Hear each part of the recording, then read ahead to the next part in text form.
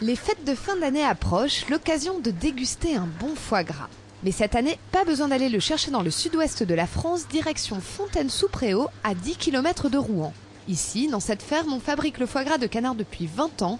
200 canards sont ainsi gavés par semaine.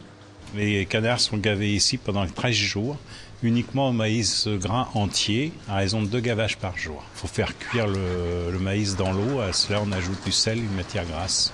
Le canard a un don pour stocker la graisse dans son foie, c'est pour cela que pendant la période de gavage, 10 kg de grains lui sont donnés.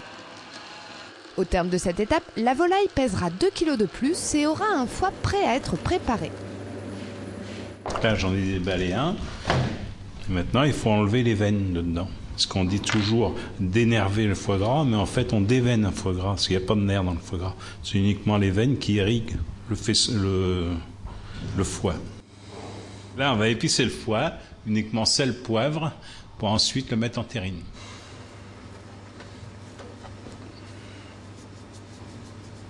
Pour déguster le foie, il faut maintenant le faire cuire. Là, on est à l'étape de cuisson. Les terrines ont été mises au bain-marie à 70 degrés. Et là, les grosses terrines comme ça, elles vont rester une heure. À la suite de ça, on les enlèvera, on les sera reposer un quart d'heure. Puis après, ils seront stockés en chambre froide. Mais chez les Royers, le canard, c'est une vraie affaire de gastronomie. Il n'y a pas que le foie gras ni cuit.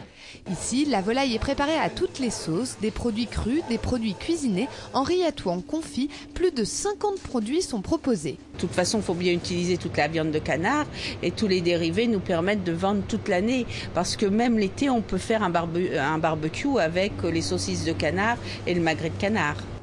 Autant de plats qui donnent l'eau à la bouche. Passons donc à la dégustation. En fait, là, il y a deux petites présentations. Il y en a une, c'est en une présentation euh, avec du pain d'épices au 10 poivres, qui relève bien le goût du foie gras. Et puis l'autre, bah, comme on est en Normandie, c'est tranche de foie gras avec quartier de, de pommes.